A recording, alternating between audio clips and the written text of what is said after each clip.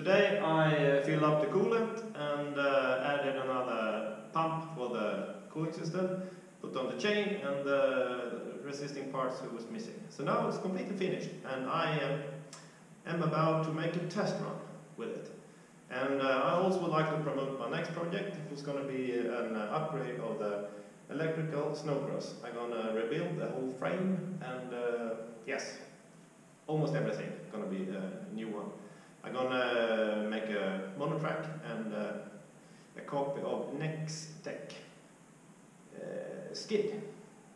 That's going to be an inspiring project and I also will uh, make it a bit different. I will take it part by part and make a more pedagogic way. So if you are interested and have the skills, you maybe can uh, build your own. Yes, now we're going to make a test run.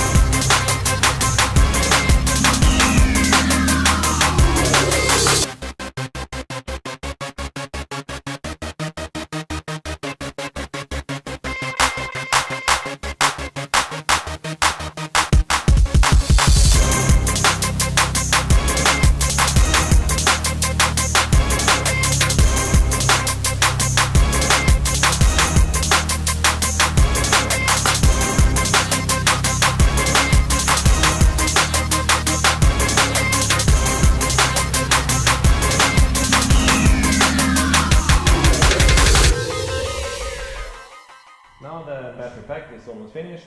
I separated the cells in, in, three packs, so it's uh, eight cells in each block, and I separated them with uh, Masonite boards, and I connected each row of uh, eight cells with uh, six square millimeter wires.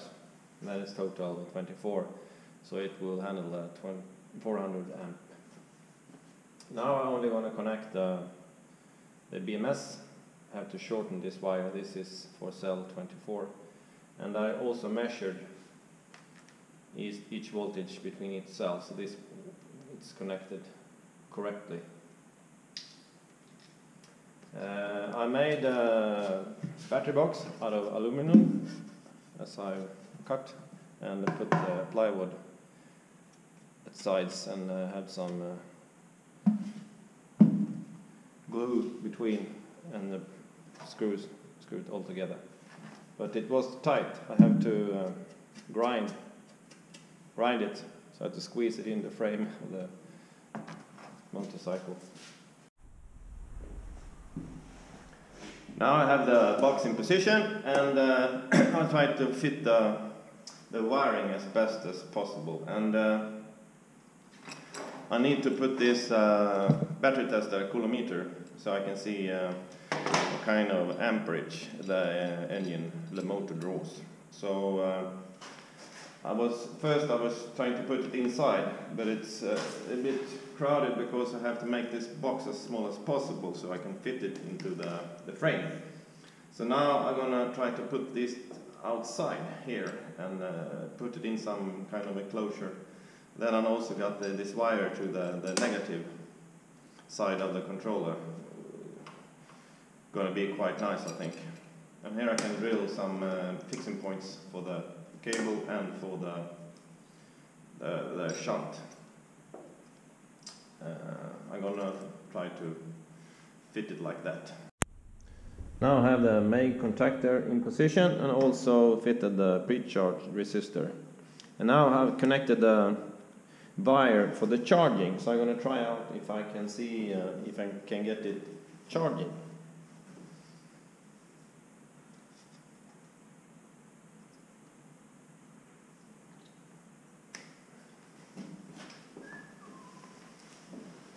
Well, it seems to be working. The charging.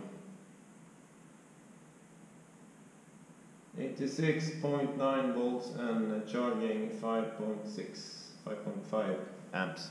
Great. Well, now I've done the wiring and uh, also programmed the controller via this uh, tab. And uh, it's working.